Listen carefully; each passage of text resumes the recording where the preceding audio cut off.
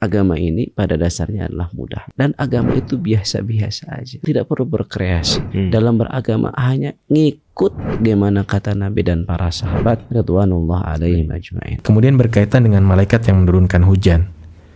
Bagaimana keyakinan yang benar berkaitan dengan hujan? Kita meyakini Allah kita meyakini Allah yang menurunkan hujan. Ataukah Allah memerintahkan malaikat untuk menurunkan hujan? Ataukah hujan turun secara saintifik? Terima kasih. Allah yang menurunkan hujan dan menugaskan malaikat untuk mengaturnya. Hmm. Ya Allah. Jadi dengan izin Allah itu. Yeah. Turunnya hujan itu Allah yang menurunkan hujan. Makanya kita minta turun hujannya kepada siapa? Kepada hmm. Allah bukan kepada malaikat. Hmm. Apakah turun secara secara saintifik? Enggak. Allah yang menurunkan hujan. Hmm. Ya.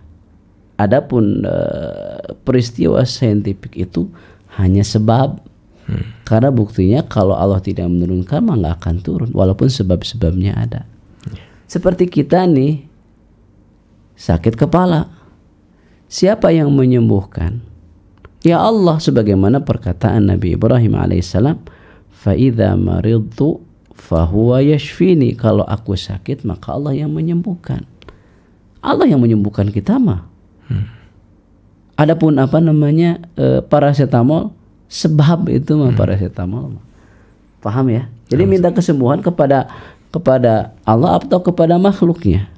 Kepada Allah. Allah. Dokter, dokter. Apakah dokter yang menyembuhkan kita? Enggak. Ya. Jelas perkataan Nabi Ibrahim, kalau aku sakit Allah yang menyembuhkan. Hmm.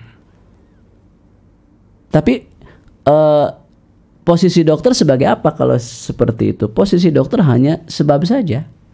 Dan kalau Allah tidak menghendaki mah walaupun dokternya 10 oke okay, anggar we mah sembuh. Kalau Allah tidak menghendaki. Tapi kita diperintah untuk mencari sebab gitu kan. Ya kita cari sebab, cari dokter paling canggih. Nah, guru saya pernah pernah bercerita itu secara langsung. Kita usaha. Yang sakit, kita usaha cari dokter paling canggih sebagai al-akhdhu bil asbab. Hmm.